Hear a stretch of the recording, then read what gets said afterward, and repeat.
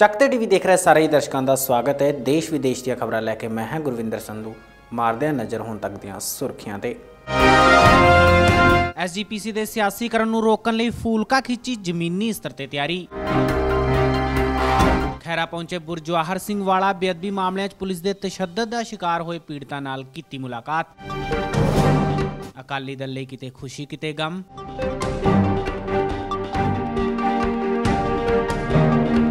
ਸਿੱਧੂ ਦੀ policy ਕੀਤਾ ਚਮਤਕਾਰ, ਸਰਕਾਰ ਦਾ ਖਜ਼ਾਨਾ ਖੁਸ਼ਹਾਲ। ਦਰਦਨਾਕ ਸੜਕ ਹਾਦਸਾ, ਪੰਜ ਪ੍ਰਵਾਸੀ ਮਜ਼ਦੂਰਾਂ ਦੀ ਗਈ ਜਾਨ, ਇੱਕ ਗੰਭੀਰ ਜ਼ਖਮੀ, ਜੇਰੇ ਇਲਾਜ।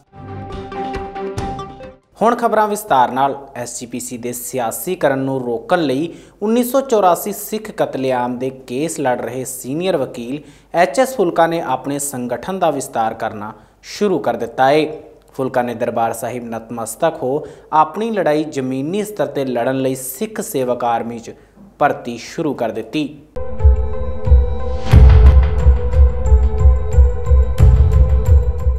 ਉੱਨੀ ਸੌ ਚੌਰਾਸੀ ਸਿੱਖ ਕਤਲੇਆਮ ਮਾਮਲੇ ਦੇ ਕੇਸ ਲੜ ਰਹੇ ਸੀਨੀਅਰ ਵਕੀਲ ਐਚ ਐਸ ਫੁਲਕਾ ਅੱਜ ਦਰਬਾਰ ਸਾਹਿਬ ਨਤਮਸਤਕ ਹੋਏ, ਜਿੱਥੇ ਉਹਨਾਂ ਅਰਦਾਸ ਕਰ ਆਪਣੀ ਫੌਜ ਭਰਤੀ ਦਾ ਐਲਾਨ ਕੀਤਾ। ਫੂਲਕਾ ਵੱਲੋਂ ਗਠਿਤ ਕੀਤੇ ਗਏ ਸਿੱਖ ਸੇਵਕ ਸੰਗਠਨ ਵੱਲੋਂ ਜ਼ਮੀਨੀ ਸਤਰ ਤੇ ਆਪਣੀ ਫੌਜ ਤਿਆਰ ਕਰਨ ਲਈ ਸਿੱਖ ਸੇਵਕ ਆਰਮੀ 'ਚ ਭਰਤੀ ਦਾ ਐਲਾਨ ਕੀਤਾ ਗਿਆ। ਇਸ ਮੌਕੇ ਮੀਡੀਆ ਨਾਲ ਗੱਲਬਾਤ ਕਰਦਿਆਂ ਫੂਲਕਾ ਨੇ ਦੱਸਿਆ ਕਿ ਇਸ ਫੌਜ 'ਚ ਭਰਤੀ ਲਈ ਕੀ ਨਿਯਮ ਸ਼ਰਤਾਂ ਹੋਣਗੀਆਂ। ਫੂਲਕਾ ਨੇ ਕਿਹਾ ਕਿ ਸਾਡਾ ਟੀਚਾ 1 ਮਹੀਨੇ 'ਚ 5000 ਦੇ ਕਰੀਬ ਵਰਕਰ ਤਿਆਰ ਕਰਨਾ ਏ। ਜਿਸ ਲਈ ਉਹਨਾਂ ਵੱਲੋਂ ਇੱਕ ਵੈਬਸਾਈਟ ਵੀ ਡਿਜ਼ਾਈਨ ਕੀਤੀ ਜਾ ਚੁੱਕੀ ਹੈ, ਜਿੱਥੇ ਸਿੱਖ ਸੇਵਕ ਆਰਮੀ 'ਚ ਕੋਈ ਵੀ ਪੰਜਾਬੀ ਅਪਲਾਈ ਕਰ ਸਕਦਾ ਹੈ ਫੁਲਕਾ ਨੇ ਇਸ ਸੰਗਠਨ 'ਚ ਕੁਝ ਬੁੱਧੀਜੀਵੀਆਂ ਨੂੰ ਵੀ ਜਗ੍ਹਾ ਦਿੱਤੀ ਹੈ ਅਤੇ ਜ਼ਮੀਨੀ ਸਤਰ ਤੇ ਲੜਾਈ ਲੜਨ ਲਈ ਫੁਲਕਾ ਦੀ ਆਰਮੀ 'ਚ ਭਰਤੀ ਵੀ ਸ਼ੁਰੂ ਹੋ ਗਈ ਹੈ। ਯਾਦ ਰਹੇ, ਫੁਲਕਾ ਵੱਲੋਂ ਗਠਿਤ ਕੀਤੇ ਗਏ ਸੰਗਠਨ ਦਾ ਮੇਨ ਮਕਸਦ ਐਸਜੀਪੀਸੀ ਨੂੰ ਰਾਜਨੀਤਿਕ ਅਦਾਇਰਿਆਂ ਤੋਂ ਆਜ਼ਾਦ ਕਰਾਉਣਾ ਹੈ ਸ਼੍ਰੋਮਣੀ ਕਮੇਟੀ ਦਾ ਪਿਛਲੇ ਕਈ ਦਹਾਕਿਆਂ ਤੋਂ ਪੂਰੀ ਤਰ੍ਹਾਂ ਸਿਆਸੀਕਰਨ ਕੀਤਾ ਹੋਇਆ। ਤੇ ਇਹਦੇ ਤੇ ਪੂਰਾ ਕਬਜ਼ਾ ਇੱਕ ਤਰ੍ਹਾਂ ਸਮਝੋ ਕਿ ਇੱਕੋ ਪਰਿਵਾਰ ਦਾ ਚੱਲ ਰਿਹਾ। ਸਿਆਸੀ ਹਿੱਤਾਂ ਵਾਸਤੇ ਸ਼੍ਰੋਮਣੀ ਕਮੇਟੀ ਨੂੰ ਵਰਤਿਆ ਜਾਂਦਾ। ਹੁਣ ਅਸੀਂ ਇਹ ਮੁਹਿੰਮ ਸ਼ੁਰੂ ਕੀਤੀ ਆ ਹਲਾਣਾ ਬਾਬੂ ਕਿ ਸ਼੍ਰੋਮਣੀ ਕਮੇਟੀ ਦਾ ਸਿਆਸੀਕਰਨ ਖਤਮ ਕਰਨਾ। ਸ਼੍ਰੋਮਣੀ ਕਮੇਟੀ ਨੂੰ ਸਿਆਸੀ ਲੋਕਾਂ ਦੇ ਹੱਥਾਂ 'ਚੋਂ ਲੈ ਕੇ ਇਹ ਧਾਰਮਿਕ ਤੇ ਸਮਾਜਿਕ? ਹੱਥਾਂ ਦੇ ਵਿੱਚ ਦੇਣਾ। ਥੋੜੀ ਜਗ੍ਹਾ ਦਿਓ ਮੈਨੂੰ। ਇਹ ਮੁਹਿੰਮ ਅਸੀਂ ਸ਼ੁਰੂ ਕੀਤੀ ਆ ਤੇ ਇਹ ਮੁਹਿੰਮ ਦੇ ਦਾ ਇੱਕ ਸੰਗਠਨ ਬਣਾਇਆ ਜਿਹਦਾ ਨਾਮ ਸਿੱਖ ਸੇਵਕ ਸੰਗਠਨ ਰੱਖਿਆ ਸੀ। ਤੇ ਉਹ ਇੱਕ ਬੁੱਧੀਜੀਵੀਆਂ ਦਾ ਸੰਗਠਨ ਹੋਏਗਾ ਤੇ ਉਹ ਨਾਲ ਦੀ ਨਾਲ ਇਹਦਾ ਸਨੇਹਾ ਜਿਹੜਾ ਥੱਲੇ ਗਰਾਊਂਡ ਲੈਵਲ ਤੱਕ ਲੈ ਕੇ ਜਾਣਾ ਉਹਦੇ ਵਾਸਤੇ ਇੱਕ ਵਲੰਟੀਅਰਾਂ ਦੀ ਫੌਜ ਬਣਾਉਣੀ ਆ।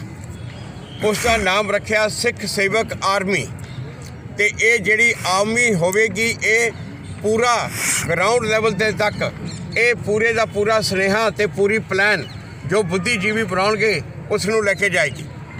ਸਿੱਖ ਸੇਵਕ ਸੰਗਠਨ ਦੇ ਜਿਹੜੇ ਉੱਪਰ ਮੈਂਬਰ ਹੋਣਗੇ ਐਗਜ਼ੈਕਟਿਵ ਦੇ ਉਹਨਾਂ ਚੋਂ ਕੋਈ ਸ਼੍ਰੋਮਣੀ ਕਮੇਟੀ ਦੇ ਇਲੈਕਸ਼ਨ ਖੁਦ ਨਹੀਂ ਲੜੂਗਾ।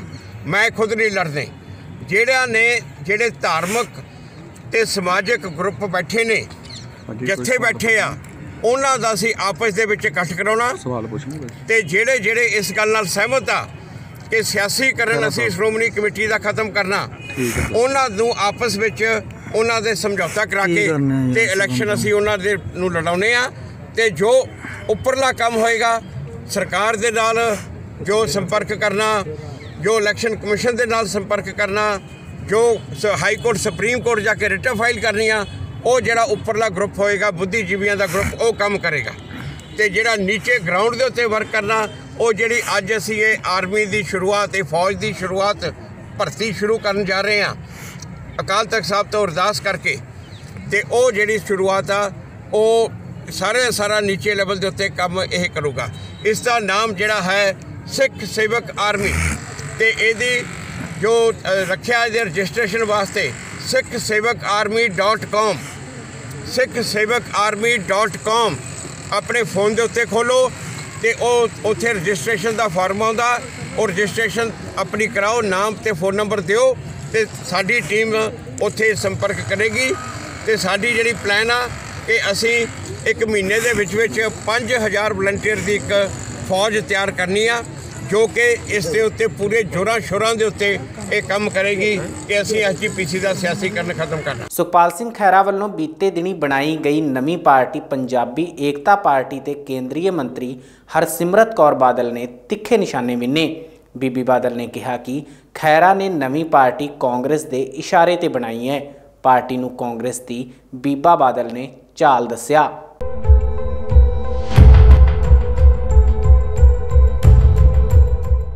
ਸੁਖਪਾਲ ਸਿੰਘ ਖੈਰਾ ਵੱਲੋਂ ਬੀਤੇ ਦਿਨੀ ਆਪਣੀ ਨਵੀਂ ਪਾਰਟੀ ਪੰਜਾਬੀ ਏਕਤਾ ਪਾਰਟੀ ਬਣਾਈ ਗਈ, ਜਿਸ ਨੂੰ ਲੈ ਕੇ ਜਦ ਮੀਡੀਆ ਨੇ ਕੇਂਦਰੀ ਮੰਤਰੀ ਹਰਸਿਮਰਤ ਕੌਰ ਬਾਦਲ ਨੂੰ ਸਵਾਲ ਕੀਤਾ ਤਾਂ ਬੀਬਾ ਬਾਦਲ ਨੇ ਕਿਹਾ ਕਿ ਕਾਂਗਰਸ ਸਰਕਾਰ ਦੇ ਇਸ਼ਾਰੇ ਤੇ ਸੁਖਪਾਲ ਖੈਰਾ ਨੇ ਨਵੀਂ ਪਾਰਟੀ ਬਣਾਈ ਹੈ। ਬੀਬਾ ਬਾਦਲ ਨੇ ਉਦਾਹਰਨ ਦੇ ਤੌਰ ਤੇ ਪੀਪੀਪੀ ਅਤੇ ਆਮ ਆਦਮੀ ਪਾਰਟੀ ਦਾ ਹਵਾਲਾ ਦਿੱਤਾ। ਹਰਸਿਮਰਤ ਕੌਰ ਬਾਦਲ ਨੇ ਕਿਹਾ ਕਿ ਅਕਾਲੀ ਦਲ ਨੂੰ ਕਮਜ਼ੋਰ ਕਰਨ ਲਈ ਕਾਂਗਰਸ ਸਰਕਾਰ ਦੀ ਇਹ ਇੱਕ ਵੱਡੀ ਚਾਲ ਹੈ। ਇਹ ਹਮੇਸ਼ਾ ਕਾਂਗਰਸ ਦੀ ਚਾਲ ਰਹੀ ਹੈ ਕਿ ਅਕਾਲੀ ਦਲ ਨੂੰ ਕਮਜ਼ੋਰ ਕਰਨ ਵਾਸਤੇ ਜੋ ਕਰਨ ਦੀ ਲੋੜ ਹੈ ਉਹਨੂੰ ਕਰੋ। ਜਦ 2012 ਦੀ ਚੋਣਾਂ ਸੀ ਤਾਂ ਇੱਕਦਮ ਪੀਪੀਪੀ ਦਾ ਜਨਮ ਹੋ ਗਿਆ। ਕਿਨੇ ਕੀਤਾ ਸੀ ਜਨਮ ਉਹਦਾ? ਆਪਾਂ ਉਸ ਟਾਈਮ ਵੀ ਕਹਿੰਦੇ ਸੀ ਕਿ ਇਹ ਮਨਪ੍ਰੀਤ ਕਾਂਗਰਸ ਦੇ ਇਸ਼ਾਰਿਆਂ 'ਚ ਪਾਰਟੀ ਖੜੀ ਕਰ ਕਾਂਗਰਸ 'ਚ ਵੜ ਜੂਗਾ ਬਿਲਕੁਲ ਉਹੀ ਹੋਇਆ 2014 ਦੀ ਇਲੈਕਸ਼ਨਾਂ 'ਚ। 2014 'ਚ ਜਦ ਆਮ ਆਦਮੀ ਆਈ ਉਹਦਾ ਮੈਂ ਉਸ ਟਾਈਮ ਵੀ ਕਹਿੰਦੀ ਸੀ ਕਿ ਦਿੱਲੀ 'ਚ ਦੇਖ ਲਓ ਕੀ ਹੋਇਆ। ਕਾਂਗਰਸ ਨੇ ਆਮ ਆਦਮੀ ਨੂੰ ਜਨਮ ਦਿੱਤਾ ਬੀਜੇਪੀ ਨੂੰ ਰੋਕਣ ਵਾਸਤੇ। ਤੇ ਜਿਹੜਾ ਕੇਜਰੀਵਾਲ ਆਪਣੇ ਬੱਚਿਆਂ ਦੀ ਸੌ ਖਾ ਕੇ ਕਹਿੰਦਾ ਸੀ ਕਿ ਮੈਂ ਕਾਂਗਰਸ ਤੇ ਬੀਜੇਪੀ ਨਹੀਂ ਜਾਊਂਗਾ ਬਨਨਸਾਰ 5 ਦਿਨਾਂ ਦੇ ਅੰਦਰ ਕਾਂਗਰਸ ਦੇ ਨਾਲ ਹੱਥ ਜੋੜ ਕੇ ਕਾਂਗਰਸ ਦੇ ਨਾਲ ਰਲੀ ਮਿਲੀ ਸਰਕਾਰ ਬਣਾਈ। ਪਿਛਲੇ ਸਾਡੇ ਇਲੈਕਸ਼ਨ 'ਚ ਦੇਖ ਲਓ 17 'ਚ ਇੱਕੋ ਨਿਸ਼ਾਨਾ ਸੀਗਾ ਦੋਨਾਂ 'ਚ। ਪਹਿਲੇ ਤਾਂ ਜੀ ਨਸ਼ਿਆਂ ਦੀ ਇੰਨੀ ਵੱਡੀ ਅਫਵਾਹ ਫੈਲਾਤੀ, ਅੱਜ ਨਸ਼ੇ ਉਸ ਤੋਂ ਚਾਰ ਗੁਣਾ ਵੱਧ ਗਏ, ਕੋਈ ਮੂੰਹ ਖੋਲ ਰਿਹਾ ਹੈਗਾ? ਕੋਈ ਨਹੀਂ ਮੂੰਹ ਖੋਲ ਰਿਹਾ। ਬੇਅਦਬੀਆਂ ਦੇ ਉੱਤੇ ਨਸ਼ਿਆਂ ਦੇ ਗੁਟਕਾ 'ਚ 100 ਖਾਦੀ, ਉਹ ਵੀ ਨਹੀਂ ਕੋਈ ਗੱਲ ਕਰ ਰਿਹਾ ਹੈਗਾ। ਬੇਅਦਬੀਆਂ ਦੀ ਗੱਲ ਕੀਤੀ ਅੱਜ ਕੀ ਅੱਜ ਸਾਰੇ ਚੁੱਪ ਨੇ। ਉਹਨਾਂ ਦਾ, ਦੋਨੋਂ ਦਾ ਇੱਕੋ ਇੱਕ ਨਿਸ਼ਾਨਾ ਸੀਗਾ ਕਿ ਅਸੀਂ ਜਿਵੇਂ ਕਿਵੇਂ ਅਕਾਲੀ ਦਲ ਨੂੰ ਬਦਨਾਮ ਕਰਕੇ, ਕਮਜ਼ੋਰ ਕਰਕੇ ਸਰਕਾਰ ਕਾਂਗਰਸ ਦੀ ਬਣਾ ਦੀ ਜਿਹੜੀ ਉਹਨਾਂ ਨੇ ਬਣਾ ਦਿੱਤੀ ਹੈਗੀ। ਹੁਣ ਵੀ ਉਹਨਾਂ ਦਾ ਨਿਸ਼ਾਨਾ ਉਹੀ ਹੈਗਾ ਕਿ ਇਹ ਨਵੀਂ ਨਵੀਂ ਪਾਰਟੀਆਂ ਬਣਾ ਬਣੂ ਕੇ ਟਾਰਗੇਟ ਇੱਕੋ ਹੀ ਹੈ ਕਿ ਅਕਾਲੀ ਦਲ ਕਮਜ਼ੋਰ ਹੋਏ। ਕੋਈ ਤੁਸੀਂ ਦੇਖਿਆ ਕਿ ਕੋਈ ਟਾਰਗੇਟ ਕੋਈ ਦੂਜਾ ਕਿਸੇ ਹੋਰ ਦੀ ਗੱਲ ਕਰਦੇ? ਨਹੀਂ ਤਾਂ ਮੈਨੂੰ ਦੱਸੋ 34 ਸਾਲ ਬਾਅਦ ਇੰਨੀ ਵੱਡੀ ਕਨਵਿਕਸ਼ਨ ਹੋਈ ਹੈ ਸਿੱਖ ਕੌਮ ਵਾਸਤੇ ਕਿੰਨੀ ਵੱਡੀ ਗੱਲ। ਇਹ ਗੱਲ ਕਰਦੇ ਨੇ ਬੇਅਦਬੀਆਂ ਦੀ ਇਹ ਗੱਲ ਕਰਦੇ ਨੇ, ਜਿਹੜੇ ਉਹ ਸ਼ਹੀਦ ਹੋ ਗਏ। ਕਿੰਨੀ ਬੇਅਦਬੀਆਂ ਹੋਈਆਂ ਜਦ ਹਜ਼ਾਰਾਂ ਦੀ ਗਿਣਤੀ ਵਿੱਚ ਗੁਰਦੁਆਰਿਆਂ ਨੂੰ ਅੱਗ ਲਾ ਦਿੱਤੀ ਗਈ ਸੀ। ਕਿੰਨੇ ਗੁਰੂ ਸਾਹਿਬ ਉੱਥੇ ਅਗਨੀ ਭੇਟ ਹੋ ਗਏ। ਕਿੰਨੇ ਆਪਣੇ ਭਰਾ ਦੇ ਕਤਲੇਆਮ ਹੋਏ। ਤੇ ਇਸ ਗੱਲ ਬਾਰੇ ਜਦ ਪਹਿਲੀ ਵਾਰੀ 34 ਸਾਲ ਬਾਅਦ ਇਤਿਹਾਸਿਕ ਇੱਕ ਬੰਦੇ ਨੂੰ ਵੱਡੇ ਮਗਰਮੱਛ ਨੂੰ ਜੇਲ੍ਹ 'ਚ ਧੱਕਤਾ ਤੇ ਦੋਵਾਂ ਨੂੰ ਇੱਕ ਨੂੰ ਉਮਰ ਕੈਦ ਤੇ ਇੱਕ ਨੂੰ ਫਾਂਸੀ। ਜਿਹੜੇ ਸਰਕਾਰੀ ਧਰਨੇ ਵਾਲੇ ਧਰਮ ਦੇ ਆਪਣੇ ਆਪ ਨੂੰ ਬੋਲਦੇ ਨੇ, ਉਹ ਹੋ ਗਏ ਜਾਂ ਵਿਰੋਧੀ ਪਾਰਟੀਆਂ ਇਹਨਾਂ ਵਿੱਚੋਂ ਕੋਈ ਗੱਲ ਕਰ ਰਿਹਾ ਹੈ? ਜੇ ਅਰਦਾਸ ਕਰਾਈਏ ਗੁਰੂ ਸਾਹਿਬ ਦੇ ਚਰਨਾਂ 'ਚ, ਕਿਹੜੀ ਪਾਰਟੀ ਨੇ ਕਰਾਈ ਹੈ? ਜਿਹੜੀ ਪਾਰਟੀ ਨੇ 34 ਸਾਲ ਇਸ ਲੜਾਈ ਨੂੰ ਜ਼ਿੰਦਾ ਰੱਖਿਆ, ਬਾਵਜੂਦ ਇਸ ਗੱਲ ਦੇ ਕਿ ਰਾਹੁਲ ਗਾਂਧੀ ਕਹਿੰਦੇ ਕਾਂਗਰਸੀਆਂ ਦਾ ਹੱਥ ਹੀ ਨਹੀਂ ਸੀ। ਜਿਹੜੇ ਅਦਾਲਤ ਤੋਂ ਲੈ ਕੇ ਸੜਕਾਂ ਤਾਈਂ ਇਨਸਾਫ ਲਈ ਲੜਦੇ ਰਹੇ ਅੱਜ ਉਹ ਪਾਰਟੀ ਨੂੰ ਕਮਜ਼ੋਰ ਕਰਨ ਵਾਸਤੇ ਸਾਰੇ ਇਕੱਠੇ ਹੋਏ ਨੇ। ਪੰਜਾਬੀ ਏਕਤਾ ਪਾਰਟੀ ਦੇ ਪ੍ਰਧਾਨ ਸੁਖਪਾਲ ਸਿੰਘ ਖਹਿਰਾ ਨੇ ਬੀਤੇ ਦਿਨੀ ਟਕਸਾਲੀ ਆਗੂ ਬ੍ਰਹਮਪੁਰਾ ਨਾਲ ਮੁਲਾਕਾਤ ਕੀਤੀ। ਪੰਜਾਬ ਡੈਮੋਕ੍ਰੈਟਿਕ ਅਲਾਈਅੰਸ 'ਚ ਹਿਮਾਇਤ ਲਈ ਬ੍ਰਹਮਪੁਰਾ ਨੂੰ ਅਪੀਲ ਵੀ ਕੀਤੀ ਸੀ। ਇਸ ਮੌਕੇ ਉਹਨਾਂ ਆਮ ਆਦਮੀ ਪਾਰਟੀ ਨਾਲ ਗਠਜੋੜ ਦੀਆਂ ਸੰਭਾਵਨਾ ਬਾਰੇ ਵੀ ਮੀਡੀਆ ਨੂੰ ਜਾਣਕਾਰੀ ਦਿੱਤੀ।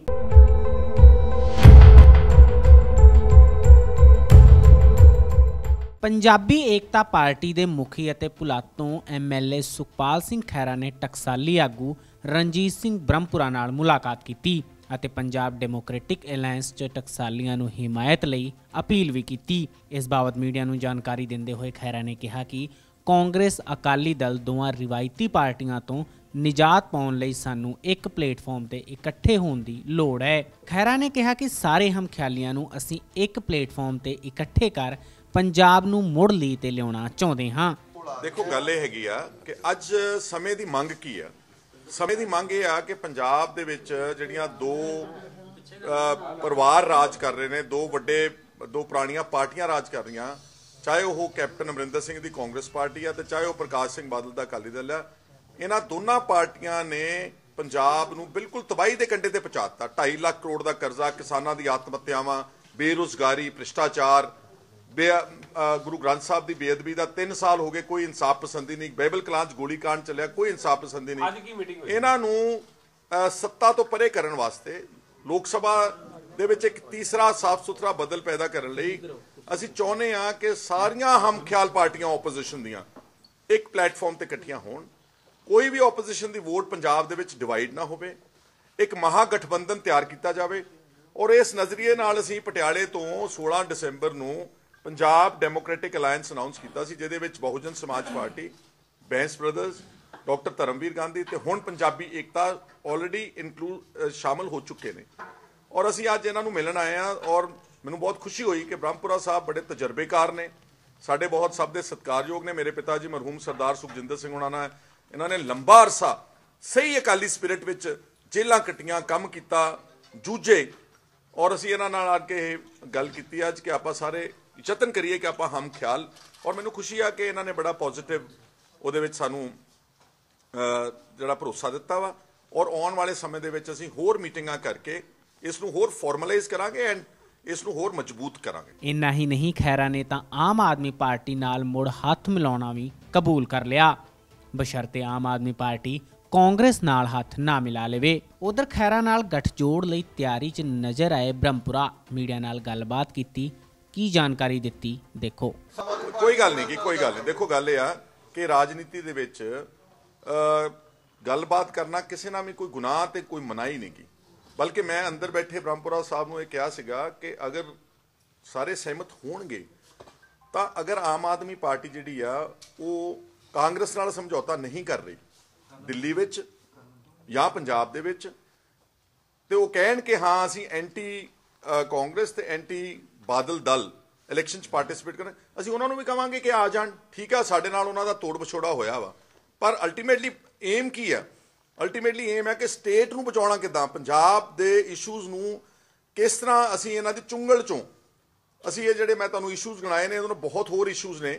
ਅਸੀਂ Punjab our aim is Punjab. Our aim is not ਕਿ ਕੌਣ ਕਿਹਦੀ ਈਗੋ ਹੋਮੇ ਕਿਹਦੀ, ਕਿਹਦੇ ਨਾਲ ਹੈਗੀ ਨਥਿੰਗ ਡੂਇੰਗ ਐਟ ਆਲ ਤਾਂ ਮੈਂ ਤਾਂ ਪਹਿਲਾਂ ਵੀ ਕਹਿ ਚੁੱਕਾ ਵਾਂ ਔਰ ਮੈਂ ਹੁਣ ਬ੍ਰਹਮਪੁਰਾ ਸਾਹਿਬ ਨੂੰ ਕਹੂੰਗਾ ਸਗੋਂ ਕਿ ਕਿਉਂਕਿ ਉਹਨਾਂ ਦੇ ਕੋਲ ਮਿਲ ਕੇ ਗਏ ਸੀਗੇ ਕਿ ਅਗਰ ਉਹਨਾਂ ਨੇ ਇਕੱਲਿਆਂ ਨੇ ਇਲੈਕਸ਼ਨ ਲੜਨੀ, ਇਕੱਲੇ ਲੜਨ ਨਾਲੋਂ ਆਪੋਜੀਸ਼ਨ ਦੀ ਵੋਟ ਡਿਵਾਈਡ ਕਰਨ ਨਾਲੋਂ ਉਹ ਵੀ ਸਾਡੇ ਗੱਠਜੋੜ ਵਿੱਚ ਸ਼ਾਮਿਲ ਕਰ ਬਰਗਾੜੀ ਬੇਅਦਬੀ ਕਾਂਡ 'ਚ ਪੁਲਿਸ ਦੇ ਤਸ਼ੱਦਦ ਦਾ ਸ਼ਿਕਾਰ ਹੋਏ ਬੁਰਜ ਜਵਾਹਰ ਸਿੰਘ ਵਾਲਾ ਦੇ ਲੋਕਾਂ ਨਾਲ ਖੈਰਾ ਨੇ ਮੁਲਾਕਾਤ ਕੀਤੀ। ਇਸ ਮੌਕੇ ਉਹਨਾਂ ਪੀੜਤਾਂ ਦੇ ਬਿਆਨ ਖੁਦ ਵੀ ਕਲਮਬੰਦ ਕੀਤੇ।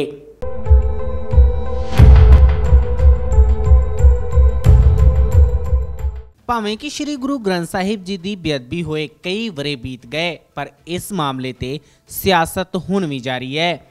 ਅਗਰ ਇਨਸਾਫ ਦੀ ਗੱਲ ਕੀਤੀ ਜਾਵੇ, ਤਾਂ ਇਨਸਾਫ ਹੁਣ ਤੱਕ ਨਹੀਂ ਮਿਲਿਆ। ਸ੍ਰੀ ਗੁਰੂ ਗ੍ਰੰਥ ਸਾਹਿਬ ਜੀ ਦੀ ਚੋਰੀ ਮਾਮਲੇ ਵਿੱਚ ਪੁਲਿਸ ਦੀ ਕੁੱਟਮਾਰ ਦੇ ਸ਼ਿਕਾਰ ਹੋਏ ਲੋਕਾਂ ਨੂੰ ਮਿਲਣ ਪਹੁੰਚੇ ਪੰਜਾਬੀ ਏਕਤਾ ਪਾਰਟੀ ਦੇ ਮੁਖੀ ਸੁਖਪਾਲ ਸਿੰਘ ਖਹਿਰਾ। ਖਹਿਰਾ ਦੁਆਰਾ ਬੇਅਦਬੀ ਨੂੰ ਲੈ ਕੇ ਪੁਲਿਸ ਅਤੇ ਪ੍ਰਸ਼ਾਸਨ ਵੱਲੋਂ ਹੁਣ ਤੱਕ ਕੀਤੀ ਗਈ ਕਾਰਵਾਈ ਦੀ ਸੰਤੁਸ਼ਟੀ ਬਾਰੇ ਜਾਣਕਾਰੀ ਪਿੰਡ ਜਵਾਹਰ ਸਿੰਘ ਵਾਲਾ ਦੇ ਲੋਕਾਂ ਤੋਂ ਲਈ ਗਈ ਅਤੇ ਖੈਰਾ ਨੇ ਆਪ ਖੁਦ ਪੀੜਿਤ ਲੋਕਾਂ ਦੇ ਬਿਆਨ ਵੀ ਕਲਮਬੰਦ ਕੀਤੇ। ਖੈਰਾ ਨੇ ਕਿਹਾ ਕਿ ਅਸੀਂ ਲੋਕਾਂ ਦੀ ਕਚਹਿਰੀ 'ਚ ਫੈਸਲਾ ਲਿਆ ਹੈ ਕਿ ਹੁਣ ਇਹਨਾਂ ਪੀੜਿਤ ਲੋਕਾਂ ਦੀ ਲੜਾਈ ਅਸੀਂ ਮੂਰੇ ਹੋ ਲੜਾਂਗੇ। ਅੱਜ ਅਸੀਂ ਇੱਕ, ਜਿਹਨੂੰ ਕਹਿੰਦੇ ਹੁੰਦੇ ਕਿ ਪੀਪਲਸ ਟ੍ਰਾਇਲ ਕੀਤੀ ਆ, ਇੱਕ ਲੋਕਾਂ ਦੀ ਕਚਹਿਰੀ ਲਾਈ ਆ। ਔਰ ਮੈਂ ਬ- ਬਤੌਰ ਇੱਕ ਰਿਸਪੌਂਸਿਬਲ ਪੰਜਾਬ ਦੇ ਵਿਰੋਧੀ ਧਿਰ ਦੇ ਆਗੂ ਰਹਿਣ ਤੋਂ ਬਾਅਦ ਮੇਰੀ ਸਾਡੀ ਨੈਤਿਕ ਜ਼ਿੰਮੇਵਾਰੀ MLA Baldev Singh ji local MLA ਨੇ ਜੈਤੋ ਦੇ ਕਿ ਜਿਨ੍ਹਾਂ ਲੋਕਾਂ ਦੇ ਨਾਲ ਜ਼ੁਲਮ ਹੋਇਆ, ਧੱਕਾ ਹੋਇਆ, ਉਹਨਾਂ ਨੂੰ ਇਨਸਾਫ ਦਿਵਾਉਣਾ ਸਾਡੀ ਨੈਤਿਕ ਜ਼ਿੰਮੇਵਾਰੀ ਹੈ। ਉਸ ਦੇ ਤਹਿਤ ਅਸੀਂ ਬੁਰਜ ਸਿੰਘ ਵਾਲਾ ਦੇ ਗੁਰਦੁਆਰਾ ਸਾਹਿਬ 'ਚ ਪਹੁੰਚ ਕੇ ਜਿਹੜੇ ਲਗਭਗ ਇੱਕ ਦਰਜਨ ਦੇ ਕਰੀਬ ਲੋਕ ਜਿਹੜੇ ਜਿਨ੍ਹਾਂ ਨੂੰ ਇਹਦੇ 'ਚ ਬਹੁਤ ਬੇਰਹਿਮੀ ਦੇ ਨਾਲ ਕੁੱਟਿਆ ਗਿਆ, ਟੌਰਚਰ ਕੀਤਾ ਗਿਆ 3rd ਡਿਗਰੀ ਔਰਤਾਂ ਨੂੰ ਸਮੇਤ ਔਰ ਇਹਨਾਂ ਦੇ ਇਹਨਾਂ ਦੇ ਇਲੈਕਟ੍ਰਿਕ ਸ਼ੌਕਸ ਲਾਏ ਗਏ ਕੰਨਾਂ ਦੇ ਪਿੱਛੇ ਪ੍ਰਾਈਵੇਟ ਪਾਰਟਸ ਦੇ ਉੱਤੇ। ਇਹਨਾਂ ਨੂੰ ਅ, ਲਾਠੀਆਂ ਡਾਂਗਾਂ ਨਾਲ ਇਹਨਾਂ ਦੇ ਪੈਰ ਛਿੱਲ ਦਿੱਤੇ ਗਏ। ਕਈਆਂ ਦੀਆਂ ਵਿੱਚੋਂ ਪਸਲੀਆਂ ਟੁੱਟ ਗਈਆਂ ਸੀਗੀਆਂ। ਹਰਬੰਸ ਸਿੰਘ ਇਸ ਪਿੰਡ ਦਾ ਮਾਨਸਿਕ ਤੌਰ ਤੇ ਬਿਮਾਰ ਕਰ ਦਿੱਤਾ। ਚਾਰ ਬੱਚੇ ਚਾਰ ਮੈਂਬਰ ਚੁੱਕੇ ਟੱਬਰ ਦੇ ਦੋ ਨੌਜਵਾਨ ਬੱਚੇ ਤੇ ਇੱਕ ਉਹਦੀ ਘਰਵਾਲੀ। ਉਸ ਦਾ ਉਸ ਉਸ ਤੇ ਇੰਨਾ ਜ਼ੁਲਮ ਢਾਇਆ। ਇਸ ਪਿੰਡ ਦੇ ਜਿਹੜੇ ਗ੍ਰੰਥੀ ਸਾਹਿਬ ਸੀਗੇ ਉਹਨਾਂ ਦੀ ਵਾਈਫ ਜਿਹੜੇ ਗ੍ਰੰਥੀ ਗੋਰਾ ਸਿੰਘ ਜੀ ਨੇ ਉਹਨਾਂ ਦੀ ਘਰਵਾਲੀ ਸਵਰਨਦੀਪ ਕੌਰ, ਉਸ ਨੂੰ ਉਹਦਾ ਇੰਨਾ ਬੁਰੀ ਤਰ੍ਹਾਂ ਟੌਰਚਰ ਕੀਤਾ ਪੁਲਿਸ ਨੇ ਕਿ ਉਹਦਾ ਅਲਟੀਮੇਟਲੀ ਯੂਟਰਸ ਰਿਮੂਵ ਕਰਨਾ ਪਿਆ, ਉਹਦਾ ਅਲਸਰ ਫਟ ਗਿਆ ਅੰਦਰ ਪੇਟ ਤੇ। ਔਰਤਾਂ ਨੂੰ ਬੰਦਿਆਂ ਨੇ ਇੰਟਰੋਗੇਟ ਕੀਤਾ। ਔਰ ਇਸ ਪਿੰਡ ਦੇ ਗੁਰਦੁਆਰਾ ਸਾਹਿਬ ਦੇ ਪ੍ਰੈਜ਼ੀਡੈਂਟ ਜਿਹੜੇ ਸੀ, ਗੁਰਸਿੱਖ ਰਣਜੀਤ ਸਿੰਘ ਜੀ, ਉਹਨਾਂ ਨੂੰ ਵੀ ਨਹੀਂ ਬਖਸ਼ਿਆ ਗਿਆ। ਪਾਣੀ ਦਾ ਟੌਰਚਰ ਕਰਦੇ ਨੇ, ਜਿਹੜੀ ਕਿ ਮੈਡੀਕਲ ਰਿਪੋਰਟ ਦੇ ਵਿੱਚ ਕਿਸੇ ਤਰ੍ਹਾਂ ਦਾ ਟੌਰਚਰ ਨਾ ਆਵੇ ਮੈਡੀਕਲ ਰਿਪੋਰਟ ਵਿੱਚ ਇੰਜਰੀ ਨਾ ਆਵੇ, ਬੰਦੇ ਨੂੰ ਬੰਨ ਕੇ ਬੈਂਚ ਦੇ ਉੱਤੇ ਉਹਦੇ ਹੱਥ ਪੈਰ ਬੰਨ ਕੇ ਉੱਤੋਂ ਜੱਗਾਂ ਦੇ ਨਾਲ ਪਾਣੀ ਸੁੱਟਦੇ, ਉਹਦੀਆਂ ਨਾਸਾਂ ਦੇ ਵਿੱਚ, ਉਹਦੀਆਂ ਮੂੰਹ ਦੇ ਵਿੱਚ, ਜਿਹੜਾ ਕਿ ਬਹੁਤ ਟੌਰਚਰਸ ਆ, ਪਰ ਰਿਪੋਰਟ ਵਿੱਚ ਕਿਤੇ ਨਹੀਂ ਆਉਂਦਾ। ਇਹ ਨਵੇਂ ਟ੍ਰਿਕ ਜਿਹੜੇ ਅਸੀਂ ਪੰਜਾਬ ਪੁਲਿਸ ਨੇ, ਉਹਨਾਂ ਨੇ ਇਹ ਕੀਤੇ। ਔਰ ਇਹ ਸਭ ਕੁਝ ਜਿਹੜਾ ਵਾ, ਇਹ ਉਦੋਂ ਹੋਇਆ ਜਦੋਂ ਜਿਹੜਾ ਅਖੌਤੀ ਜੋਰਾ ਸਿੰਘ ਸੀ, ਜਿਹੜਾ ਬੋਗਸ ਜੱਜ ਸੀ, ਜਿਹੜਾ ਬਾਦਲਾਂ ਨੇ ਬਣਾਇਆ। ਇਸ ਮਕਸਦ ਨਾਲ ਸੀਗਾ ਕਿ ਉਹਨਾਂ ਨੂੰ ਕਲੀਨ ਚਿੱਟ ਮਿਲ ਸਕੇ। ਮਹਿਜ਼ ਥੋੜੇ ਜੇ ਗੱਡੀਆਂ ਮੋਟਰਾਂ ਦੇ ਲਾਲਚ ਨੂੰ ਥੋੜੀ ਤਨਖਾਹ ਕੁਝ ਲੱਖਾਂ ਰੁਪਏ ਦੇ ਲਾਲਚ ਨੂੰ, ਉਹਨਾਂ ਨੇ ਆ ਸਾਰੇ ਪਿੰਡ ਦੇ ਜਿਹੜਾ ਔਰਤਾਂ, ਬੰਦੇ, ਬਜ਼ੁਰਗ, ਨੌਜਵਾਨ ਕੁਟਵਾਏ। ਕਿਉਂਕਿ ਉਹਨੇ ਆਪਣੀ ਰਿਪੋਰਟ ਵਿੱਚ ਕਿਸੇ ਡੇਰਾ ਪ੍ਰੇਮੀ ਨੂੰ ਤਾਂ ਲੱਭਣ ਦੀ ਕੋਸ਼ਿਸ਼ ਨਹੀਂ ਕੀਤੀ। ਕੋਈ ਸੀਸੀਟੀਵੀ ਫੁਟੇਜ ਲੈਣ ਦੀ ਕੋਸ਼ਿਸ਼ ਨਹੀਂ ਕੀਤੀ, ਜਿਹੜੀ later on Ranjit Singh commission ਨੇ ਕੋਟਕਪੂਰਾ ਦੇ ਚੌਂਕ 'ਚੋਂ ਕੈਮਰੇ ਲਵਾਏ। ਉਹਨਾਂ ਨੇ ਕੋਈ ਡੇਰੇ ਵੱਲ ਨੂੰ ਜਿਹੜੀ ਜਿਹੜੀ ਇਨਵੈਸਟੀਗੇਸ਼ਨ ਜਿਹੜਾ ਅਸਲ ਜਿਹਨਾਂ ਲੋਕਾਂ ਨੇ ਗੁਰੂ ਗ੍ਰੰਥ ਸਾਹਿਬ ਦੀ ਬੇਅਦਬੀ ਕਰਾਈ, ਜਿਹੜੀ ਕਿ ਬਾਅਦ ਵਿੱਚ ਐਸਆਈਟੀ ਨੇ ਉਹਨਾਂ ਤੇ ਪਰਚੇ ਦਰਜ ਕੀਤੇ। ਉਹਨਾਂ ਨੇ ਕਬੂਲ ਲਿਆ ਵਾ। ਬਿੱਟੂ ਜਿਹੜਾ 45 ਮੈਂਬਰ ਕਮੇਟੀ ਸੀ ਡੇਰਾ ਸੱਚਾ ਸੌਦੇ ਉਹਨੇ ਕਬੂਲ ਲਿਆ ਕਿ ਅਸੀਂ ਬੇਅਦਬੀਆਂ ਕਰਾਈਆਂ। ਅਸੀਂ ਸਾਰੀ, ਇਹ ਸਾਜ਼ਿਸ਼ ਰਚੀ। ਪਰ ਜੋਰਾ ਸਿੰਘ ਨੇ ਆਪਣੀ ਰਿਪੋਰਟ ਵਿੱਚ ਕਹਿਤਾ ਕਿ ਪਿੰਡ ਦੇ ਗ੍ਰੰਥੀ ਸਮੇਤ ਪਿੰਡ ਦੇ ਆਗੂਆਂ ਨੂੰ ਪੰਜਾਬ ਦੀ ਪੁਲਿਸ ਨੇ ਇੰਟਰੋਗੇਟ ਨਹੀਂ ਕੀਤਾ। ਇਹ ਦੋਸ਼ੀ ਨੇ ਔਰ ਉਹਦੀ ਉਸ ਰਿਪੋਰਟ ਤੋਂ ਬਾਅਦ 2016 ਦੇ ਵਿੱਚ ਇਹਨਾਂ ਨੂੰ ਚੁੱਕ ਕੇ ਜਾਂ 2015 ਦੇ ਦਸੰਬਰ ਦੇ ਵਿੱਚ ਇਹਨਾਂ ਦੀ ਚੁੱਕ ਥਾਲੀ ਸ਼ੁਰੂ ਹੋ ਗਈ। 6 ਮਹੀਨਿਆਂ ਤੋਂ ਬਾਅਦ ਇਹਨਾਂ ਦਾ ਉਹ ਕੁਟਾਪਾ ਚੜਿਆ ਔਰ ਉਹ ਬੇਇੱਜ਼ਤੀ ਕੀਤੀ, ਜਲੀਲ ਕੀਤਾ। ਮਾਨਸਿਕ ਤੌਰ ਤੇ ਕਿਸੇ ਨੂੰ ਮਾਰਨਾ ਹੋਵੇ, ਕਿਸੇ ਨੂੰ ਉਹ ਟੌਰਚਰ ਸਾਰਾ, ਔਰ ਇੱਕ ਇੱਕ ਸੀਆਈਏ ਸਟਾਫ ਨਹੀਂ। Faridkot CIA staff Bajakhana police station, Mehna CIA staff Ludhiana, Ferozepur CIA staff Bathinda CIA staff Sirhind ਤੱਕ ਲੈ ਕੇ ਲੋਕਾਂ ਨੂੰ। ਰੁਪਿੰਦਰ ਤੇ ਜਸਵਿੰਦਰ ਜਿਹੜੇ ਦੋ ਭਰਾ ਸੀਗੇ। ਜਿਹੜਾ ਉਹ ਫੁਕਰੇ ਸੁਖਬੀਰ ਨੇ ਚੰਡੀਗੜ੍ਹ ਬਹਿ ਕੇ ਪ੍ਰੈਸ ਕਾਨਫਰੰਸ ਕੀਤੀ ਕਿ ਅਸੀਂ ਗੁਰੂ ਗ੍ਰੰਥ ਸਾਹਿਬ ਦੀ ਬੇਅਦਬੀ ਕਰਨ ਵਾਲੇ ਰੁਪਿੰਦਰ ਤੇ ਜਸਵਿੰਦਰ ਪੰਜ ਗਰਾਈਂ ਦੇ ਜਿਹੜੇ ਰਹਿਣ ਵਾਲੇ ਸੀਗੇ, ਇਹਨਾਂ ਤੋਂ ਅਸੀਂ ਲੱਭ ਲਿਆ ਵਾ ਗੁਨਾਹਗਾਰਾਂ ਨੂੰ। ਔਰ ਗੁਰਦੁਆਰਾ ਸਾਹਿਬ ਜਾ ਕੇ ਇੱਕ ਝੂਠੀ ਅਰਦਾਸ ਦਾ ਪਖੰਡ ਵੀ ਕੀਤਾ ਗਿਆ। ਨਾਡਾ ਸਾਹਿਬ ਵਿੱਚ ਜਾ ਕੇ ਇਸ ਨੇ ਸੁਖਬੀਰ ਬਾਦਲ ਨੇ ਔਰ ਕਹਿਤਾ ਕਿ ਅਸੀਂ ਇਸ ਸਾਰਾ ਬੇਅਦਬੀਆਂ ਦਾ ਮਸਲਾ ਹੱਲ ਕਰ ਦਿੱਤਾ। ਆਪਣੇ ਡੇਰਾ ਪ੍ਰੇਮੀਆਂ, ਆਪਣੇ ਦੋਸਤਾਂ ਨੂੰ, ਆਪਣੇ ਵੋਟਰਾਂ ਨੂੰ ਬਚਾਉਣ ਦੀ ਖਾਤਰ ਬਹੁਤ ਕਾਨੂੰਨੀ ਹਰਕਤ ਸੀਗੀ। ਔਰ ਇਹਨਾਂ ਨੌਜਵਾਨਾਂ ਨੂੰ ਰੁਪਿੰਦਰ, ਜਸਵਿੰਦਰ, ਅਮਨਦੀਪ ਸਿੰਘ 10 ਦਿਨ ਇਹਨਾਂ ਨੂੰ ਸਰਹੰਦ ਦੇ ਸੀਏ ਸਟਾਫ ਦੇ ਵਿੱਚ, ਉੱਥੇ ਪੁਲਿਸ ਥਾਣੇ ਦੇ ਵਿੱਚ ਲਿਜਾ ਕੇ ਕੁੱਟਦੇ ਰਹੇ। ਕੁਝ ਲੋਕਾਂ ਨੂੰ ਤਾਂ ਪ੍ਰਾਈਵੇਟ ਕੁਆਟਰਾਂ ਵਿੱਚ ਲਿਜਾ ਕੇ ਮਾਨਸਾ ਦੇ ਕਿਸੇ ਪੁਲਿਸ ਅਫਸਰ ਦੇ ਸਾਰਾ ਕੁਝ ਮੈਂ ਲਿਖ ਲਿਆ ਵਾ। ਕੱਲੇ ਕੱਲੇ ਆਦਮੀ ਦੇ ਬਿਆਨ ਕਲਮਬੰਦ ਕੀਤੇ ਨੇ, ਔਰਤਾਂ ਦੇ ਬਿਆਨ ਕਲਮਬੰਦ ਕੀਤੇ ਨੇ ਵਿਕਟਮਸ ਦੇ। ਅੱਜ ਅਸੀਂ ਕੀ ਫੈਸਲਾ ਲਿਆ ਵਾ ਕਿ ਇਹਨਾਂ ਦੀ ਲੜਾਈ ਹੁਣ ਅਸੀਂ ਲੜਾਂਗੇ। ਚਾਹੇ ਸਾਨੂੰ ਸਭ ਤੋਂ ਪਹਿਲਾਂ ਐਸਆਈਟੀ ਕੋ ਜਾਵਾਂਗੇ, ਇਸੇ ਐਸਆਈਟੀ ਕੋ ਕਿਉਂਕਿ ਇਹਨਾਂ ਨੇ ਹੀ ਇਹ ਸਾਰਾ ਇਲੈਜਿਟਿਮੇਟ ਤਰੀਕੇ ਅਪਣਾਏ ਨੇ। ਨਹੀਂ ਕਰਨਗੇ ਤਾਂ ਜਿਹੜੇ ਹੋਰ ਫੋਰਮਸ ਨੇ ਲੀਗਲ ਚਾਹੇ ਉਹ ਐਸਸੀ ਕਮਿਸ਼ਨ ਆ, ਚਾਹੇ ਹਿਊਮਨ ਰਾਈਟਸ ਕਮਿਸ਼ਨ ਆ, ਚਾਹੇ ਹਾਈ ਕੋਰਟ ਆ, ਚਾਹੇ ਸੁਪਰੀਮ ਕੋਰਟ ਤੱਕ ਸਾਨੂੰ ਜਾਣਾ ਪਵੇ। ਇਹ ਲੜਾਈ ਅੱਜ ਤੋਂ ਇਸ ਦਾ ਆਗਾਜ਼ ਹੋ ਗਿਆ ਵਾ, ਮੈਂ ਲੋਕਾਂ ਨੂੰ ਅਪੀਲ ਕਰੂੰਗਾ, ਇਹ ਲੜਾਈ ਇਸ ਲਈ ਲੜੀ ਜਾ ਰਹੀ ਆ ਤਾਂ ਕਿ ਮੁੜ ਕੇ ਕਿਸੇ ਹੋਰ ਬਸ਼ਿੰਦੇ, ਕਿਸੇ ਧੀ ਭੈਣ ਨਾਲ, ਕਿਸੇ ਨੌਜਵਾਨ ਦੇ ਨਾਲ ਉਹਦੇ ਚੱਡੇ ਨਾ ਪਾੜੇ ਜਾਣ, ਉਹਨਾਂ ਨੂੰ ਕੁੱਟਮਾਰ ਨਾ ਕੀਤੀ ਜਾਵੇ, ਤਾਂ ਕਿ ਇਹ ਸਬਕ ਸਿਖਾਇਆ ਜਾ ਸਕੇ ਆਉਣ ਵਾਲੇ ਜਿਹੜਾ ਲੋਕਾਂ ਨੇ ਇਹ ਜ਼ੁਲਮ ਕੀਤਾ। ਇਸ ਮਕਸਦ ਨਾਲ ਅੱਜ ਦੀ ਇਹ ਪੀਪਲਸ ਕੋਰਟ ਟ੍ਰਾਇਲ ਔਰ ਇੱਕ ਅਸੀਂ ਕਚਹਿਰੀ ਜਿਹੜੀ ਲੋਕਾਂ ਦੀ ਜਨਤਕ ਕਚਹਿਰੀ ਵਿੱਚ ਇਹ ਕੰਮ ਕੀਤਾ। ਗੁਰਦੁਆਰਾ ਜਵਾਹਰ ਸਿੰਘ ਵਾਲਾ ਦੇ ਗ੍ਰੰਥੀ ਗੋਰਾ ਸਿੰਘ ਨੇ ਕਿਹਾ ਕਿ ਜੋਰਾ ਸਿੰਘ ਦੁਆਰਾ ਗਲਤ ਇਲਜ਼ਾਮਬਾਜ਼ੀ ਕੀਤੀ ਜਾ ਰਹੀ ਹੈ, ਜਦੋਂ ਕਿ ਸਾਥੋਂ ਕਈ ਵਾਰ ਪੁੱਛਗਿੱਛ ਕੀਤੀ ਗਈ। ਜਿਸ ਦਾ ਸਾਨੂੰ ਦੁੱਖ ਨਹੀਂ ਸਗੋਂ ਖੁਸ਼ੀ ਹੈ ਕਿ ਸਹੀ ਆਰੋਪੀ ਤੱਕ ਪੁਲਿਸ ਪਹੁੰਚ ਤਾਂ ਸਕੀ। ਅਸੀਂ ਤਾਂ ਕਹਿੰਦੇ ਸਾਨੂੰ ਕੁੱਟਦੇ ਦਾ ਕੋਈ ਦੁੱਖ ਨਹੀਂ ਪੁਲਿਸ ਨੇ ਕੁੱਟ ਲਿਆ ਵੀ ਸਾਡੀ ਕੁੱਟ ਗੁਰੂ ਗ੍ਰੰਥ ਸਾਹਿਬ ਨਾਲ ਤਾਂ ਵੱਡੀ ਨਹੀਂ ਗੀ ਜਾਂ ਸਾਡੀ ਕੋਈ ਬੇਇੱਜ਼ਤੀ ਵੱਡੀ ਨਹੀਂ ਗੀ ਜੀ, ਅਸੀਂ ਤਾਂ ਅਸੀਂ ਤਾਂ ਅੱਜ ਤੱਕ ਮੀਡੀਆ ਦੇ ਸਾਹਮਣੇ ਨਹੀਂ ਆਏ ਅਸੀਂ ਆਖਿਆ ਵੀ ਚਲੋ ਜਿਹੜਾ ਕੋ ਹੋ ਗਿਆ ਹੋ ਗਿਆ ਠੀਕ ਹੈ। ਪਰ ਜੋ ਜੋਰਾ ਸਿੰਘ ਨੇ ਅ, ਬੇਬੁਨਿਆਦ ਦੇ ਬਿਆਨਬਾਜ਼ੀ ਕਰਕੇ ਦੁਮਾਰੇ ਜਾਣੀ ਦਾ ਸਾਨੂੰ ਇਹ ਕੋਸ਼ਿਸ਼ ਕੀਤੀ ਹੈ ਵੀ ਇਹਨਾਂ ਬੰਦਿਆਂ ਨੂੰ ਟਾਰਗੇਟ ਕਰੋ ਦੁਮਾਰੇ ਇਹਨਾਂ ਨੂੰ ਕੁੱਟੋ, ਮਾਰੋ। ਉਹਦਾ ਸਾਨੂੰ ਦੁੱਖ ਹੈ ਸਾਰਿਆਂ ਨਾਲੋਂ। ਹੋਰ ਸਾਨੂੰ ਕੋਈ ਦੁੱਖ ਨਹੀਂ। ਪੁਲਿਸ ਨੇ ਕੁੱਟ ਲਿਆ, ਠੀਕ ਹੈ, ਸਾਰਾ ਕੁਝ ਹੋ ਗਿਆ ਸੀਗਾ। ਤੇ ਪੁਲਿਸ ਨੇ ਉਹ ਜਿਹਾ ਅਸੀਂ ਪੁਲਿਸ ਦੀ ਸ਼ਲਾਘਾ ਵੀ ਕਰਦੇ ਹਾਂ। ਧੰਨਵਾਦ ਆ ਜਿਹੜੀ ਐਸਆਈਟੀ ਬਣੀ ਸੀ ਰਮੇਸ਼ ਸਿੰਘ ਸਖ- ਖਟੜਾ ਦੀ। ਉਹਨਾਂ ਨੇ ਹੱਲ ਵੀ ਕੀਤਾ ਉਹ ਚੀਜ਼ ਦਾ ਵੀ ਅਸੀਂ ਧੰਨਵਾਦ ਵੀ ਕਰਦੇ ਹਾਂ। ਇਹ ਨਹੀਂ ਵੀ ਇੱਕ ਪਾਖੀ ਅਸੀਂ ਵੇਖੀ ਆ ਜੇ ਪੁਲਿਸ ਨੇ ਸਾਨੂੰ ਕੁੱਟਿਆ ਕੁੱਟਿਆ, ਪਰ ਹੱਲ ਵੀ ਕੀਤਾ ਨਾ। ਪਰ ਇਹ ਤਾਂ ਜੋਰਾ ਸਿੰਘ ਜੀ ਨੇ ਜਿਹੜਾ ਉਹ 2.5 ਸਾਲ ਮਗਰਲੀ ਗੱਲ ਛੇੜਦੀ, ਉਦੋਂ ਬਾਅਦ ਤਾਂ ਸਾਡੇ ਨਾਲ ਬਹੁਤ ਕੁਝ ਹੋ ਗਿਆ। ਜੋਰਾ ਸਿੰਘ ਦਾ ਜੇ ਤੁਸੀਂ ਵੇਖੋ, ਉਹਨਾਂ ਦੀ ਆਪ ਦੀ ਤਾਂ ਕੋਈ ਰਿਪੋਰਟ ਹੈ ਨਹੀਂਗੀ ਉਹਨਾਂ ਦਾ ਤਾਂ ਇਹ ਹੈ ਜੋਰਾ ਸਿੰਘ ਦਾ ਤਾਂ ਜਿਹੜੀ ਇੱਥੇ ਜ- ਸਿੱਖ ਜਥੇਬੰਦੀਆਂ ਬਣੀਆਂ ਸੀਗੀਆਂ, ਉਹਨਾਂ ਨੇ ਆਪਦੀ ਜਿਹੜੀ ਬਣਾਈ ਸੀਗੀ ਉਹ ਕਮੇਟੀ, ਉਹਨਾਂ ਨੇ ਸਾਡੇ ਪਤਾ ਨਹੀਂ ਕਿਉਂ ਉਹਨਾਂ ਨੂੰ ਸਾਡੇ ਤੇ ਸ਼ੱਕ ਹੋਇਆ ਨਾ ਗਏ। ਉਹ ਚੱਕ ਕੇ 6 ਬੰਦਿਆਂ ਦੇ ਨਾਂ ਆਪਦੀ ਰਿਪੋਰਟ 'ਚ ਪੇਸ਼ ਕਰ ਲਏ ਤੇ ਉਹ ਸਾਡੇ, ਉਹ ਦੇ ਗਏ। ਨਾ ਕਿ ਹਾਲਾਂਕਿ ਕੋਈ ਜਥੇਬੰਦੀਆਂ ਕੋਲੇ ਅਧਿਕਾਰ ਤਾਂ ਹੈ ਨਹੀਂਗਾ ਜੋ ਵਾਰੀ ਸਾਨੂੰ ਚੰਡੀਗੜ੍ਹ ਵੀ ਬੁਲਾਇਆ ਅਸੀਂ ਜਾ ਕੇ ਵੀ ਆਏ, ਸਾਨੂੰ ਕੋਈ ਖਾਸ ਗੱਲ ਨਹੀਂ ਪੁੱਛੇਗੀ। ਰਣਜੀਤ ਸਿੰਘ ਕਮਿਸ਼ਨ ਆ, ਅਸੀਂ ਸਾਰਾ ਹਾਲ ਦੱਸਿਆ ਉਹਨਾਂ ਨੂੰ।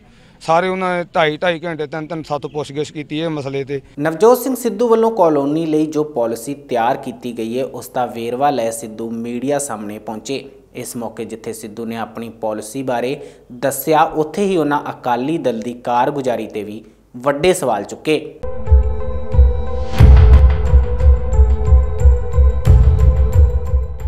ਸਰਕਾਰ ਦਾ ਖਜ਼ਾਨਾ ਹੁਣ ਖਾਲੀ ਨਹੀਂ ਰਹੇਗਾ। ਵਿਕਾਸ ਲਈ ਹਰ ਸਰਕਾਰ ਦਾ ਵੱਡਾ ਬਹਾਨਾ ਹੁੰਦਾ ਸੀ ਖਜ਼ਾਨਾ ਖਾਲੀ। ਨਵਜੋਤ ਸਿੰਘ ਸਿੱਧੂ ਨੇ ਇੱਕ ਪ੍ਰੈਸ ਵਾਰਤਾ ਕਰ ਆਪਣੇ ਵਿਭਾਗ ਵੱਲੋਂ ਨਵੀਂ ਬਣੀ ਐਡਵਰਟਾਈਜ਼ਮੈਂਟ ਪਾਲਿਸੀ ਦਾ ਵੇਰਵਾ ਦਿੱਤਾ। ਮੀਡੀਆ ਨਾਲ ਗੱਲਬਾਤ ਦੌਰਾਨ ਸਿੱਧੂ ਨੇ ਅਕਾਲੀ ਦਲ ਸੱਤਾ ਦੌਰਾਨ ਹੋਈ ਚੋਰੀ ਨੂੰ ਇੱਕ ਪਾਲਿਸੀ ਰਾਹੀਂ ਦਰੁਸਤ ਕਰ ਵੱਡਾ ਧਮਾਲ ਕਰ ਦਿੱਤਾ।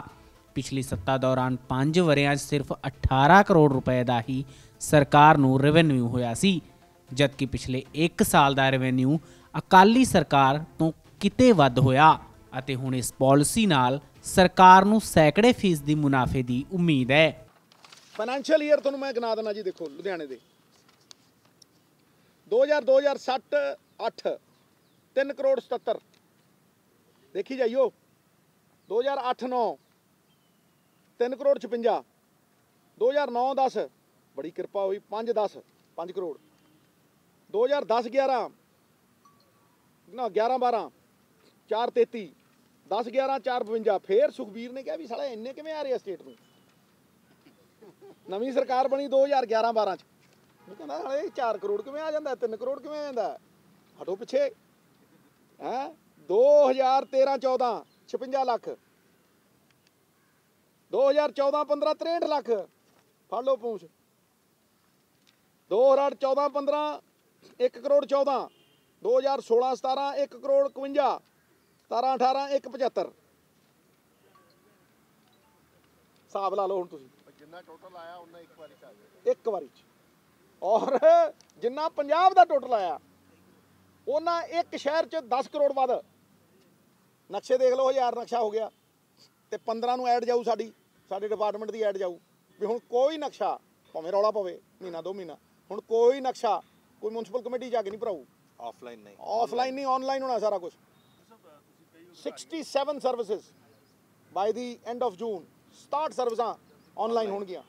ਇੰਨਾ ਹੀ ਨਹੀਂ ਸਿੱਧੂ ਨੇ ਕਿਹਾ ਕਿ ਇਸ ਪਾਲਿਸੀ ਦੇ ਦਾਇਰੇ 'ਚ ਹੁਣ ਹਰ ਸ਼ਹਿਰ ਨੂੰ ਲਿਆਂਦਾ ਜਾਵੇਗਾ ਅਤੇ ਰੈਵਨਿਊ ਦਾ ਪੈਸਾ ਸ਼ਹਿਰ ਤੇ ਹੀ ਲਾ ਹਰ ਸ਼ਹਿਰ ਦਾ ਵਿਕਾਸ ਕਾਰਜ ਕਰਵਾਇਆ ਜਾਵੇਗਾ। ਮਹਾਰਾਜ ਉੱਥੇ ਹੀ ਖਰਚ ਹੋਊਗਾ। ਅਸੀਂ ਮੈਂ ਹਾਂਜੀ ਹਾਂ 30 ਕਰੋੜ ਰੁਪਈਆ ਪੰਜ ਸੂਬੇ ਪੰਜ ਉਹਨਾਂ ਦੇ ਵਿੱਚ ਵੰਡ ਦੇਣਾ ਸੀ ਠਾਂ ਕਰਦਾ। ਜਾਂ ਅਸੀਂ ਵੱਡਾ ਪੁਲ ਬਣਾ ਦੇਣਾ। ਡਿਵੈਲਪਮੈਂਟ ਤੇ ਖਰਚ ਬਿਲਕੁਲ ਲੋਰ ਕਿਹਦੇ ਤੇ ਖਰਚ ਹੋਊ? ਹੁਣ ਤੁਸੀਂ ਇਹ ਅੰਦਾਜ਼ਾ ਲਾ ਲਓ ਵੀ ਬਾਕੀ ਪੰਜ ਚਾਰ ਚੀਜ਼ਾਂ ਨੇ। ਇੱਥੋਂ ਤੇ 200 ਨਿਕਲਿਆ ਉੱਥੋਂ 2 2 4 4 ਹਜ਼ਾਰ ਕਰੋੜ ਨਿਕਲਣਾ। ਉਹਨੂੰ ਛੱਡੋ ਮੈਂ ਹੁਣ ਕਿਉਂ ਦੱਸਾਂ? ਸਵਾਰੀ ਆਪਣੇ ਸਮਾਨ ਦੀ ਆਪ ਜ਼ਿੰਮੇਵਾਰ ਮੈਂ ਆਪਣੇ ਡਿਪਾਰਟਮੈਂਟ ਦਾ ਦੱਸੂਗਾ। ਸਮਝਣ ਵਾਲੇ ਸਮਝੀ ਜਾਣ।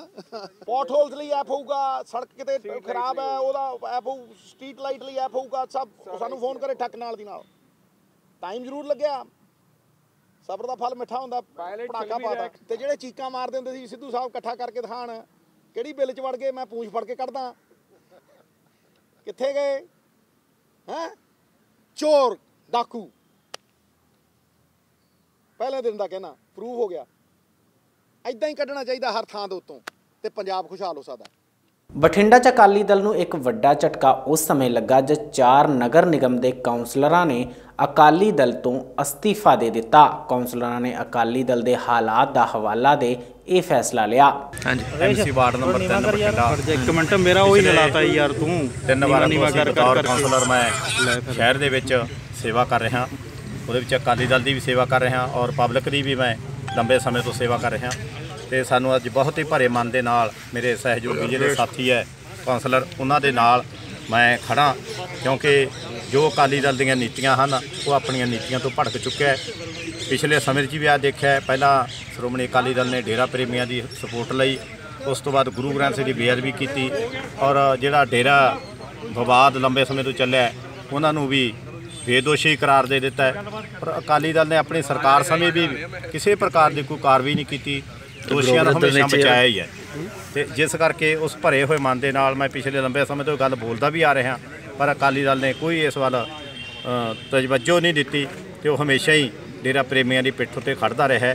ਭਾਵੇਂ ਕਿ ਉਹ ਡੇਰਾ ਵਿਵਾਦ ਦਾ ਮਸਲਾ ਚੱਲਿਆ ਜਾ ਹੋਵੇ ਜਾਂ ਗੁਰੂ ਗ੍ਰੰਥ ਸਾਹਿਬ ਦੀ ਬੇਅਦਬੀ ਦਾ ਮਸਲਾ ਹੋਵੇ ਤੇ ਮੈਂ ਉਦੋਂ ਵੀ ਅਕਾਲੀ ਦਲ ਦੇ ਨਾਲ ਇਹ ਗੱਲਾਂ ਬਾਤਾਂ ਸਾਂਝੀਆਂ ਵੀ ਕਰਦਾ ਰਿਹਾ ਔਰ ਅਕਾਲੀ ਦਲ ਦੇ ਖਿਲਾਫ ਪ੍ਰੈਸ ਦੇ ਵਿੱਚ ਵੀ ਮੈਂ ਗਿਆ ਪਹਿਲਾਂ ਵੀ ਇਹ ਇਹਨਾਂ ਦੀਆਂ ਜਿਹੜੀ ਨੀਤੀਆਂ ਉਹ ਠੀਕ ਨਹੀਂ, ਉਹਨਾਂ ਨੀਤੀਆਂ ਦੇ ਕਰਕੇ ਹੀ ਅੱਜ ਸ਼੍ਰੋਮਣੀ ਜਿਹੜੀ ਅਕਾਲੀ ਦਲ ਹੈ, ਉਹਨੂੰ ਹਾਰ ਦਾ ਮੂੰਹ ਦੇਖਣਾ ਪੈ ਰਿਹਾ ਹੈ ਤੇ ਸਾਨੂੰ ਲੋਕਾਂ ਨੇ ਅੱਜ ਮਜਬੂਰ ਕਰ ਦਿੱਤਾ ਹੈ ਵੀ ਤੁਹਾਡਾ ਅਕਾਲੀ ਦਲ ਦੇ ਵਿੱਚ ਰਹਿਣ ਦਾ ਕੋਈ ਹੱਕ ਨਹੀਂ ਹੈਗਾ ਤੇ ਅਸੀਂ ਉਸ ਕਰਕੇ ਹੀ ਸਾਰਿਆਂ ਨੇ ਅੱਜ ਅਸਤੀਫੇ ਦਿੱਤੇ ਨੇ ਮੇਰੇ ਨਾਲ ਸਾਡੇ ਸਰਕਲ ਥਰਮਲ ਦੇ ਪ੍ਰਧਾਨ ਹੈ ਹਰਜੀਤ ਸਿੰਘ ਜੀ ਐਸੀ ਵਿੰਗ ਦੇ ਪ੍ਰਧਾਨ ਹੈ ਸਰਦਾਰ ਗੁਰਦੀਪ ਸਿੰਘ ਜੀ।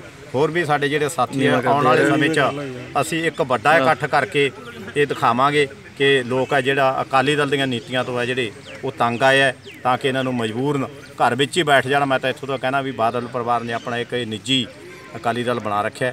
ਤੇ ਇਹਨਾਂ ਨੂੰ ਆਪਣੇ ਘਰ ਵਿੱਚ ਬੈਠ ਜਾਣਾ ਚਾਹੀਦਾ ਅਕਾਲੀ ਦਲ ਦਾ ਹੋਰ ਕਿਸੇ ਨੂੰ ਮੈਂਬਰਸ਼ਿਪ ਤਾਂ ਦਿੱਤਾ ਹੈ ਕਿ ਐਮਸੀ ਤੋਂ ਮੁੱਢਲੀ ਮੈਂਬਰਸ਼ਿਪ ਦਿੱਤੋਂ ਤੋਂ ਅਸਤੀਫਾ ਦਿੱਤਾ। ਉਧਰ ਅਕਾਲੀ ਦਲ ਨੂੰ ਬਠਿੰਡਾ ਤੋਂ ਇੱਕ ਖੁਸ਼ਖਬਰੀ ਵੀ ਮਿਲੀ ਜਦ ਕਾਂਗਰਸ ਪਾਰਟੀ ਦੇ ਪੁਰਾਣੇ ਕਈ ਵਰਕਰ ਅਕਾਲੀ ਦਲ 'ਚ ਸ਼ਾਮਿਲ ਹੋ ਗਏ।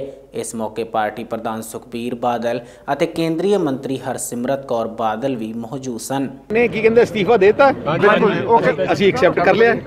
ਕਰ ਲਿਆ। ਹਾਂ ਫਿਰ ਠੀਕ ਹੈ। ਜੇ ਦੇਤਾ ਅਸੀਂ ਐਕਸੈਪਟ ਕਰ ਤੁਹਾਨੂੰ ਉਹਨਾਂ ਦੇ ਜਾਣ ਦਾ ਕੋਈ ਨੁਕਸਾਨ ਕਿਸੇ ਤਰ੍ਹਾਂ ਦਾ? ਮੈਂ ਤੁਹਾਨੂੰ ਦੱਸਾਂ ਜ਼ਿੰਦਗੀ 'ਚ ਕਿਸੇ ਦਾ ਜਾਨ ਦਾ ਕੋਈ ਹੁੰਦਾ ਨਹੀਂ। ਚਾਰ ਗਏ ਆ ਲੱਖਾਂ ਆ ਗਏ। ਮੈਂ ਤੁਹਾਨੂੰ ਦੱਸਾਂ ਹਰ ਕਿਸੇ ਦੀ ਜੇਬ 'ਚ ਕੋਈ ਵੋਟ ਨਹੀਂ। ਜਨਤਾ ਨੂੰ ਪਤਾ ਕੌਣ ਕਿਹਨੂੰ ਕਿਹਨੂੰ ਵੋਟ ਪਾਉਣੀ ਹੈ। ਇਸ ਕਰਕੇ ਮੈਂ ਇੰਨਾ ਹੀ ਕਹਿਣਾ ਚਾਹਣਾ ਹੈ, ਕੋਈ ਨਾ ਸਮਝੇ ਮੇਰੇ ਮੇਰੇ ਬਗੈਰ ਗੱਡੀ ਚੱਲਦੀ ਨਹੀਂ। ਸ਼੍ਰੋਮਣੀ ਅਕਾਲੀ ਦਲ ਬਹੁਤ ਪੁਰਾਣੀ ਪਾਰਟੀ ਹੈ। ਪਰ ਇਹ ਕਹਿਣਾ ਤੁਸੀਂ ਆਪ ਹੀ ਦੱਸੀ ਜਾਂਦੇ ਹੋ। ਤੁਸੀਂ ਗੱਲ ਸਮਝ ਨਹੀਂ ਜਿਹੜਾ ਸਵਾਲ ਤੁਸੀਂ ਪੁੱਛ ਰਹੇ ਹੋ, ਤੁਸੀਂ ਉਹਦਾ ਜਵਾਬ ਮੇਰਾ ਜਵਾਬ ਵੀ ਦੇ ਜਾਨੋ ਤੇ ਇਸ ਕਰਕੇ ਮੈਂ ਇਹਨੇ ਬਾਰੇ ਕੁਝ ਕਹਿ ਨਹੀਂ ਚਾਹੁੰਦਾ। ਸੀ ਮੈਂ ਇੰਨਾ ਕਹਿਣਾ ਚਾਹਣਾ ਕੋਈ ਵੀ ਬੰਦਾ ਜਿਹਨੇ 10 ਸਾਲ ਐਸ਼ ਕੀਤੀ ਹੈ ਐਸ ਸਾਲ ਜੇ ਕਹੂਗਾ ਮੈਂ ਛੱਡ ਕੇ ਜਾਣਾ ਹੈ ਉਸ ਬੰਦੇ ਬਾਰੇ ਮੈਂ ਤੁਹਾਨੂੰ ਆਪ ਕਹਿਣ ਦੀ ਲੋੜ ਨਹੀਂ ਅੰਮ੍ਰਿਤਸਰ 'ਚ ਇੱਕ ਦਰਦਨਾਕ ਸੜਕ ਹਾਦਸਾ ਵਾਪਰਿਆ ਹਾਦਸੇ 'ਚ ਟਰੈਕਟਰ ਟਰਾਲੀ ਤੇ ਸਵਾਰ 9 ਲੋਕਾਂ 'ਚੋਂ 5 ਲੋਕਾਂ ਦੀ ਮੌਤ ਹੋ ਗਈ ਜਦਕਿ ਇੱਕ ਵਿਅਕਤੀ ਗੰਭੀਰ ਜ਼ਖਮੀ ਹੈ ਜੋ ਹਸਪਤਾਲ ਵਿਖੇ ਜੇਰੇ ਇਲਾਜ ਹੈ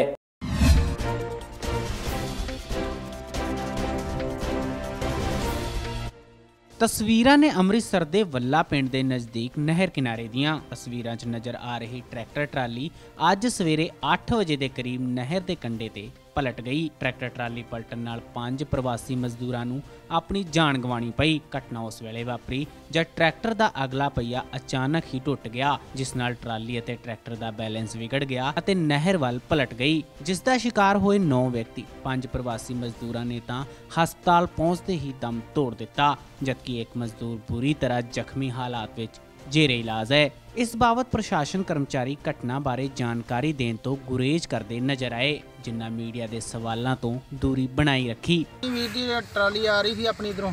ਵਰਕਰ ਦੇ ਉੱਪਰ ਅੰਦਰ ਰਹੇ ਲੇਬਰ ਵਾਲੇ ਵਿਚਾਰੇ। ਤੇ ਉਹ ਬੈਰਿੰਗ ਟੁੱਟਣ ਕਰਕੇ ਥੋੜੀ ਜਿਹੀ ਉੱਪਰ ਟਰਾਲੀ ਪਲਟੀ ਗਈ ਕਿੰਨੇ ਜਣੇ ਸੀ ਭਾਈ? ਇਹ ਟੋਟਲ 9 ਜਣੇ ਜੀ ਇੱਕ ਸੁਪਰਵਾਈਜ਼ਰ ਮੁੰਡਾ ਪੰਜਾਬੀ ਇੱਕ ਬਾਕੀ ਐਮਪੀ ਦੇ ਸਾਰੇ ਚੰਨ ਕਿੰਨਿਆਂ ਦੀ ਡੈਥ ਹੋਈ ਹੈ ਡੈਥ ਪੰਜਾਂ ਦੀ ਹੋ ਗਈ ਜੀ ਮਤਲਬ ਇੱਕ ਜ਼ਖਮੀ ਹੈ। 6 ਜਣੇ ਟੋਟਲ ਸੀ। ਨੌ। ਇਹ ਜੀ ਵੱਲੇ ਨਹਿਰ ਤੋਂ ਜਾਂਦਿਆਂ ਵੱਲੇ ਪਿੰਡ ਦੇ ਹੋਟੀਆਂ ਨਹਿਰ ਦੇ ਵਿੱਚ ਡਿੱਗੀ ਟਰਾਲੀ? ਹਾਂਜੀ ਨਹਿਰ ਦੀ ਨਹਿਰ 'ਚ। ਇਹ ਸਨ ਹੁਣ ਤੱਕ ਦੀਆਂ ਖਬਰਾਂ। ਤਾਜ਼ਾ ਤਰੀਨ ਖਬਰਾਂ ਲੈ ਕੇ ਫਿਰ ਮਿਲਾਂਗੇ। ਦੇਖਦੇ ਰਹੋ ਚੱਕਦੇ ਟੀਵੀ। ਸਤਿ ਸ਼੍ਰੀ ਅਕਾਲ। ਚੱਕਦੇ ਟੀਵੀ ਨਾਲ ਜੁੜੇ ਰਹਿਣ ਲਈ ਸਾਡਾ ਚੈਨਲ ਸਬਸਕ੍ਰਾਈਬ ਕਰੋ। ਵੀਡੀਓ ਸਭ ਤੋਂ ਪਹਿਲਾਂ ਦੇਖਣ ਲਈ ਬੈਲ ਆਈਕਨ ਤੇ ਕਲਿੱਕ ਕਰਨਾ ਨਾ ਭੁੱਲਿਓ।